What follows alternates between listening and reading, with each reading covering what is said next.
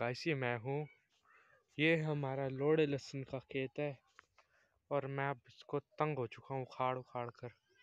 यार, इतना हमने उगा रखा है, ये लोड़ा लहसुन बहुत गुस्सा चढ़ा है मुझसे और घर वाले और काम भी करा रहे हैं। यार, गालियाँ